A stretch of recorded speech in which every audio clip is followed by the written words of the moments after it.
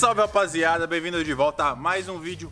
Hoje nós vamos testar a menor Glock do mundo. Tô aqui com a caixinha em mãos. Novamente comprei do mesmo lugar que a gente comprou a menor Desert Eagle do mundo, lá da Rússia, do Andrei Boblak, lá de Kharkivska. Você pode ver aqui, ó, tudo ucraniano. Na verdade na Ucrânia, né? Mas lá eles falam russo também. Enfim, dessa vez eu cortei aqui meu endereço meu telefone, que vazou da outra vez, meu antigo endereço, meu antigo telefone. Recebi pouca mensagem, vocês podem imaginar. E bom, vamos fazer o unboxing aqui, né? Dessa vez eu vou fazer... A outra eu não me aguentei, eu abri antes de começar o vídeo. Dessa vez a gente vai fazer o unboxing junto aqui desse pack que chega direto da Rússia, da Ucrânia. Ó, aqui já são as munições extra que eu comprei. Olha aqui. Hum, que linda, hein? A caixinha é a mesma. Temos aqui, olha só, é full metal. Caralho, que top, bem mais pesadinha que a outra. Temos aqui a menor Glock do mundo. Olha o tamanho disso. É o tamanho de uma moeda. Vamos ver como é que manuseia essa aqui, se é igual a outra, ó. A outra você puxava aqui o cão, aí coloca a muniçãozinha ali. Cara, a mina que faz isso é muito detalhista. Olha só, ela coloca até o, o logo da Glock. Essas arminhas aqui são feitas à mão na Ucrânia por uma mulher, é claro, a habilidade manual para fazer uma coisa tão delicada. Duvido que algum russo ucraniano ou qualquer homem teria essa habilidade. Vamos abrir aqui a nossa munição calibre 0.00001 milímetros. Eu, olha isso, é muito bizarro. Eu já usei uma, mas eu fico chocado até hoje. Olha o tamanho disso aqui. Bom, projétil de Glock até a ponto .380 já seria maior do que isso aqui.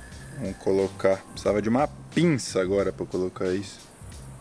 Olha lá o projétil posicionado ali, dá para ver só a capinha de trás dele ali. Aí agora, basicamente, eu vou puxar o gatilhinho aqui. O gatilhinho vai puxar o cão e vai disparar. Pode até filmar nesse ângulo, ó, pra galera ver. 3, 2, 1. Falhou, maravilha. Tem essa também falha bastante as munições, por isso que dessa vez eu já comprei um monte de munição extra. Não recomendo, tá? Isso aqui custou 200 dólares, pode colocar mais imposto aí, foi praticamente uns 1.200 reais com a cotação do dólar hoje em dia. Esse chaveirinho aqui, eu não recomendo a ninguém, acho mais legal vocês assistirem aqui e só por uma forma de entretenimento. Claro que é um brinquedo muito bacana, muito legal, mas pelo que custa, na minha opinião, não vale a pena. Vamos tentar dar mais um aqui. Falhou de novo, olha que maravilha. Uma segunda cápsula de munição. Tem essa também. 10 tiros custa 20 dólares e são 100 reais e a maioria não dispara. Olha lá, 3, 2, 1. Vamos para a nossa terceira tentativa de dar um disparo com isso aqui. Ah, moleque! Ativamos a biribinha. Tirar ela aqui, ó. Só com um araminho. Hum, Cheirinho de pólvora em miniatura. Essa aqui parece ser mais forte que a outra, deve ter dado para ver na câmera, até que sai um, um, foguinho aqui da frente. Temos hoje vários alvos, claro, diferente do nosso vídeo passado. Inclusive, temos hoje também uma mini gelatina balística. Vai ser muito interessante, vamos reunir todas as coisas que a gente tem aqui para usar no vídeo de hoje. Bom, então vamos começar aqui o nosso mini teste. A primeira coisa que eu quero testar é se essa Glock é mais forte do que a mini Desert Eagle que a gente usou. Da outra vez que a gente usou esse tipo de brinquedinho aqui. Então temos aqui um isqueiro, que foi uma coisa que a Desert Eagle não conseguiu penetrar. Vamos pegar uma munição aqui. Eu já peguei as manhas de preparar a munição aqui. Não digo que não vai falhar, mas vai aumentar nossas chances de dar bom. Um. Ei, falho. Mais um mini disparo.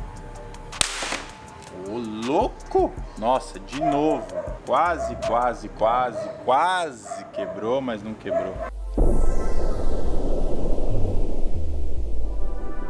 Nossa, ficou muito louco o cogumelo de fogo que essa fez. Olha, irado. Fez um baita cogumelo de fogo. Eu não consegui ver o projétil nesse ângulo. Primeira cena concluída. Bom, próximo temos o alvo perfeito para uma mini pistola, que é o quê? Uma uva. Vamos ver se ela consegue varar uma uva, se ela penetra na uva. 3, 2, 1. Ô, louco!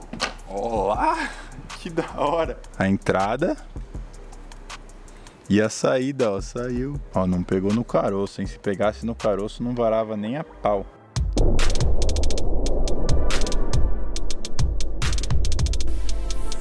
Nossa, ficou sensacional. Dá pra ver o projétil varando. E, oh, vai rápido pra dedéu isso aqui, meu. Nem desacelerou a uva. E a gente tá filmando a 6 mil frames por segundo. A próxima eu já quero filmar na mais da hora do vídeo de hoje, que vai ser a gelatina balística. A famosa gelatina balística. Essa vai ficar irado, porque a gente vai conseguir ver o projetinho atravessando ali por dentro. E, meu, se varar isso aí, eu vou ficar surpreso, hein? Hoje, ah, tem coisa legal também. Hoje a gente vai tirar no couro de porco que simula perfeitamente a carne humana e vamos ver o que aconteceria se eu desse um disparo no meu dedo, por exemplo, coisa que é óbvio que eu não vou fazer, mas a gente vai testar o que aconteceria, se penetra, se não penetra. 3, 2, 1, tira. Ô louco, que da hora, eu já tô vendo o projétil ali, ó. A micro, micro bolinha ali, dá pra ver o caminho certinho. Dá pra ver que ela entrou aqui, ela fez um caminho percorreu um terço da nossa gelatina balística. Eu achei até que pudesse varar.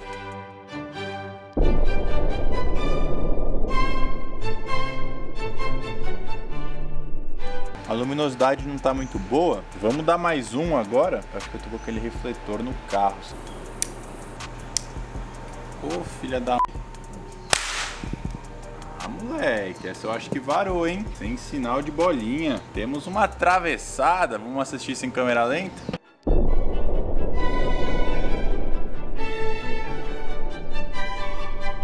Caraca, deu pra ver, ó.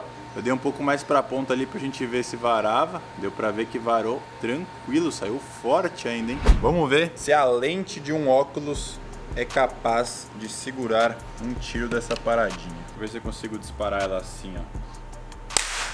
Ah, moleque. Consegui disparar sem o gatilho ali. Peguei a manha. Se eu puxar com a unha aqui o negócio, ó, até o final e soltar, pô, fez uma senhora marca aqui. Chegou a penetrar na lente. Ó, tá, tá profundo isso aqui. E, e, eu dei meio angulado. Provavelmente se eu desse reto, não ia quebrar, mas ia fazer uma marca maior. Essa lente aqui parece algum tipo de plástico.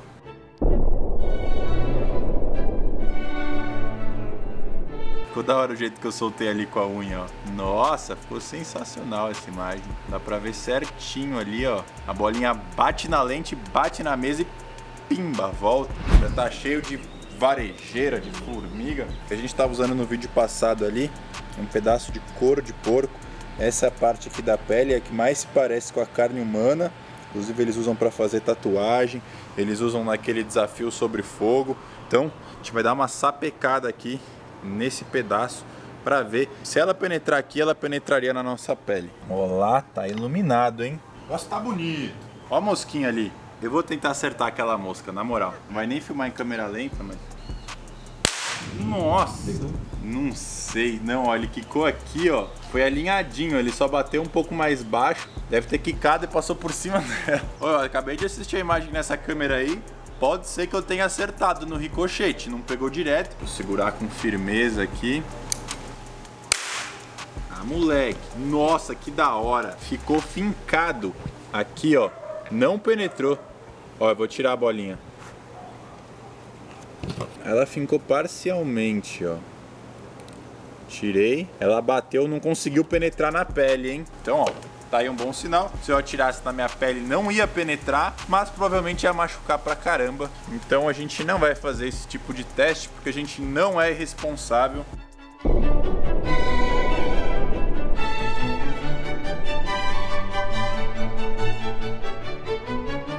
responsável. dá pra ver o, o projétil, é muito rápido. Nossa, mas é legal, tem até um fio que tá ali na mesa, que eu não sei se é um pedaço de corda, que que é na hora. Você consegue ver que tipo só o jato de vento que ela joga já manda o fio para longe. Bem legal, mais uma imagem completa com sucesso. Então, corinho de porco, cor humano, mini pin fire guns não são capazes de atravessar. Bom, a finaleira agora, será que vara um ovo? Bom, acabei de chutar a mesa sem querer, o ovo caiu, rolou e quebrou. Vamos ver, deve ter um aqui na casa da minha tia. Dois, um. Olá, furou, hein? Tô vendo aqui, ó. Não saiu do outro lado?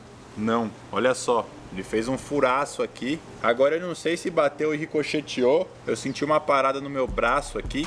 Vamos assistir em super câmera lenta.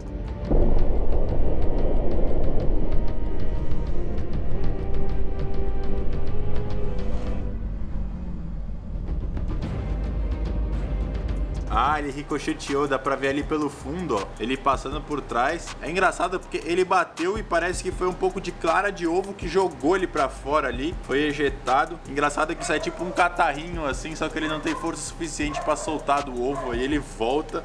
Bom, essa foi a cena final do nosso vídeo de hoje. Espero que vocês tenham gostado aqui. Testando a menor Glock do mundo, a Mini Glock. Se vocês quiserem, eu posso fazer um teste da Mini Glock versus Glock na vida real. A gente coloca os mesmos alvos e dá um tiro com uma Glock de verdade para ver o que acontece. Ia ser interessante. Chegou aqui até o final, não esquece de deixar aquele likezinho maroto. E tamo junto, até a próxima. Valeu, fui! Perfect.